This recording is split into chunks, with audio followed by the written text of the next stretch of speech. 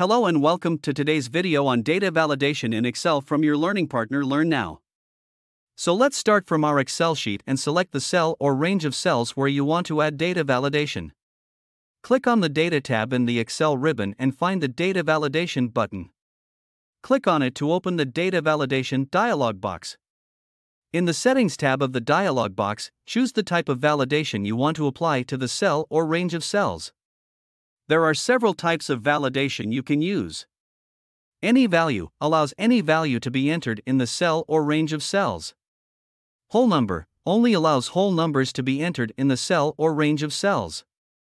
Decimal only allows decimal numbers to be entered in the cell or range of cells. List allows a predefined list of values to be selected from a drop down list. Date only allows date values to be entered in the cell or range of cells. Time only allows time values to be entered in the cell or range of cells. Time only allows time values to be entered in the cell or range of cells. Text length limits the length of text that can be entered in the cell or range of cells.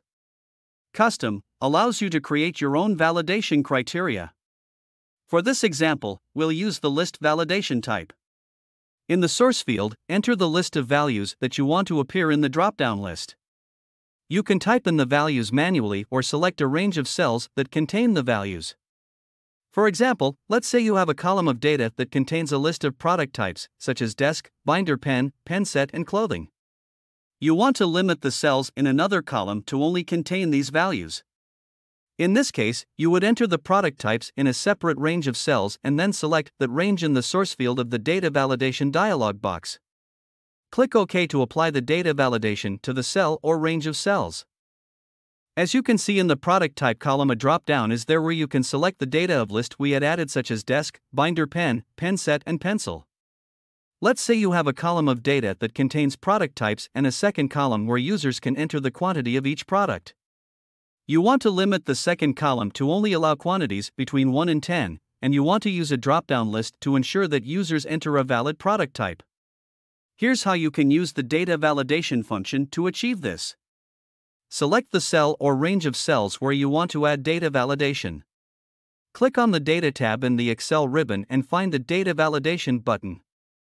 Click on it to open the Data Validation dialog box. Click on the second column where users can enter the quantity of each product. Open the Data Validation dialog box again and choose the whole number validation type.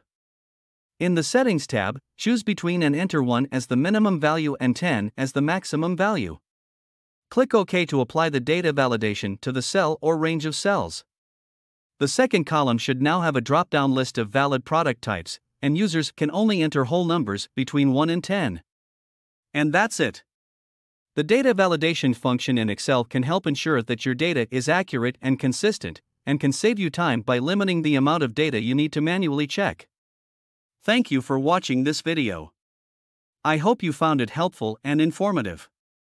Don't forget to like and subscribe to my channel for more helpful tips and tutorials.